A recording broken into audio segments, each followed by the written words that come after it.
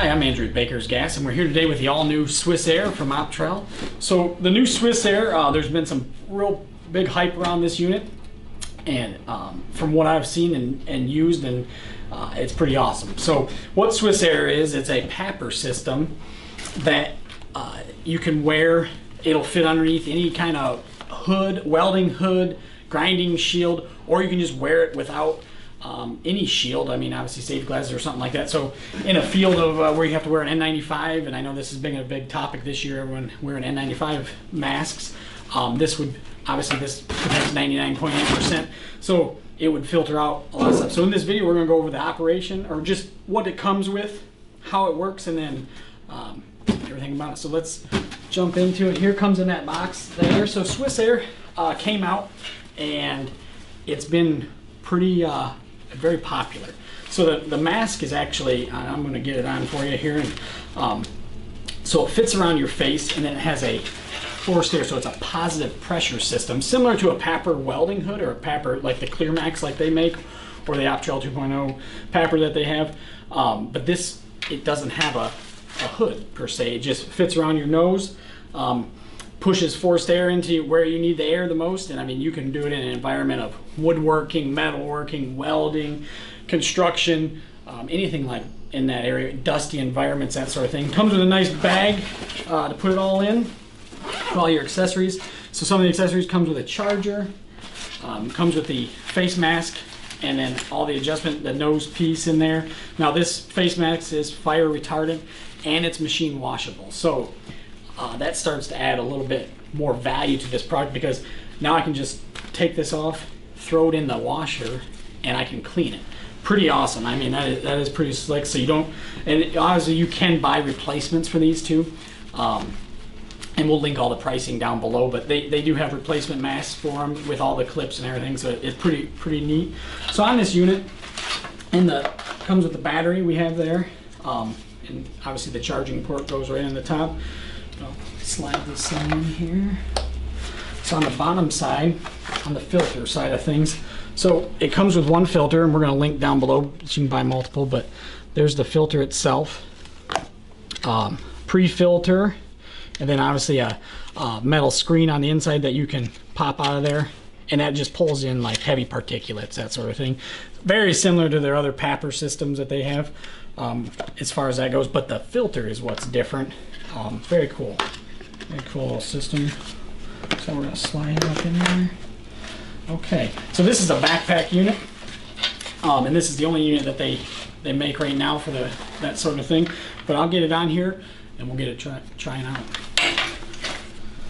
All right, so I'm gonna get this thing put on here. Um, so a couple of facts about the unit, 14 hour battery life. Um, it does tell you when the filter does get clogged, right? So it, a lot of questions we get, how do I know when to change the filter? Well, if you're in a dirty environment, this thing's gonna get clogged very quickly and it'll tell you low flow or it'll send a warning light out there saying, hey, you need to change your filter. Um, now this thing does an it's an automatic altitude adjustment and temperature adjustment. So if you're going from cold weather to high humidity down south, or you're going from Florida down, you know, sea level to Colorado, mile high, um, it automatically altitude adjusts. So some of these other PAPRs, they don't, and at higher altitudes, obviously the air is thinner, so they have to work harder to push air to where it needs to be. So uh, you start to lose coverage in the other PAPRs. This one does not automatically adjust to that. So it does 130 liters per minute. That's at max setting. Uh, one feature on this unit before we get it all on is the, the chest adjustment. So tells me my filter, tells me my battery, and then on off. And I can adjust the fan speed just like rolling the dial. And I'll show you how that sits on my on my chest here. So let me get it on. One rule of thumb you want to do, so the power button is right there, right above the charging port on the battery, on the unit, the power button. So turn it on before you get it on yourself because you can't reach that button. At least I can't reach that button. So, but then then you just, as long as it's off here, it's going to be off. The battery will be on, and then you just turn it on from up here. So I'm to throw this behind me. One more thing here too. This this mask, I found it easier So it clips in there. Pretty. I mean, it's not. It just clips in those ports like that. So I I just put one on there, and then I'm gonna throw it over my back. One thing I did notice, and I'll show you, down, is that there's not. So these straps right here, there's no adjustment on the width. So it's a little bit tight on me, but um, I could see where it would be not so tight on other people. Then your adjustments right here. So it's very nice, easily accessible right on the end. And I'm gonna reach behind me. I'll show you here. So this tubing right here goes behind you, goes behind your neck, just like that. What you want to do, and what I found the easiest way, is to get it fitted. Reach around like that. Plug it in. Pull down on that mast there, and there's an adjustment on the bottom. But then there's this head strap here. You gotta kind of adjust that because you don't want to get it all twisted. But then it goes on the top of your head like that. So what it's doing, it's pulling this mask, and you can adjust it right here. So it's pulling that mask up. So it's keeping it tight on your face. Let's turn it on here. So I got it set, see about midway, and it's really, I mean, it's flowing air in there. It's it's very noticeable. Um, obviously, you can still hear me. I can breathe just fine. I feel the it's it's a positive pressure, so it's let's turn it all the way up. So it's it, what it's doing is forcing air in, and I'm getting fresh air. It's almost like a little air conditioning right right right at my face right there. But you can see I I don't have to have a whole setup with the neck garter and all that stuff to have this PAPR on and it works and obviously with my beard it works just fine too so it's forcing everything out. So all the particulate and I still got that TH3 filter on the back which is uh, like a HEPA filter basically and it's filtering out 99.8% of everything uh, with that filter. But yeah it's not bad. It, I can breathe. I mean just just like normal. And I can I mean there's no not really a sight restriction on my nose. It's comfortable on my face um, other than the chest protection. But I did have to adjust the straps a little bit too so it brought it down a little bit but it's not bad at all. It's very light on my back. And if you were in a setting where you just had to wear a PAPR every once in a while this might be the option to go because it'll fit underneath a welding hook let me I got my Optrel 2.0 here I use all the time. Let's see how it fits on there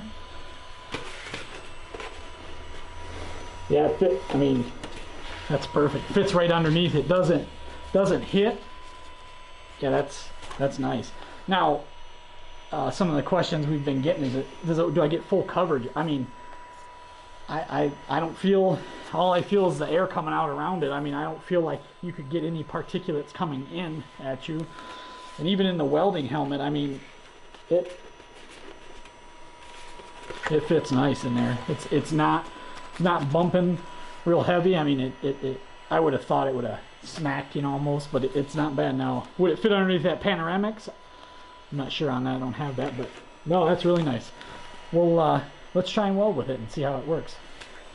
Thing here right now, I got my my flow on the highest setting. Seems to be real comfortable here. Let's try it.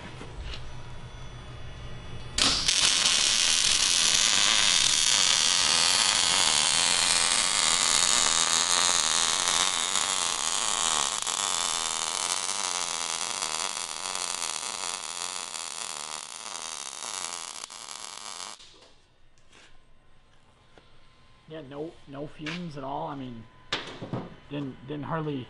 It, there's nothing. I mean, it's that's nice. Fits right underneath the hood. Didn't affect my viewing range at all.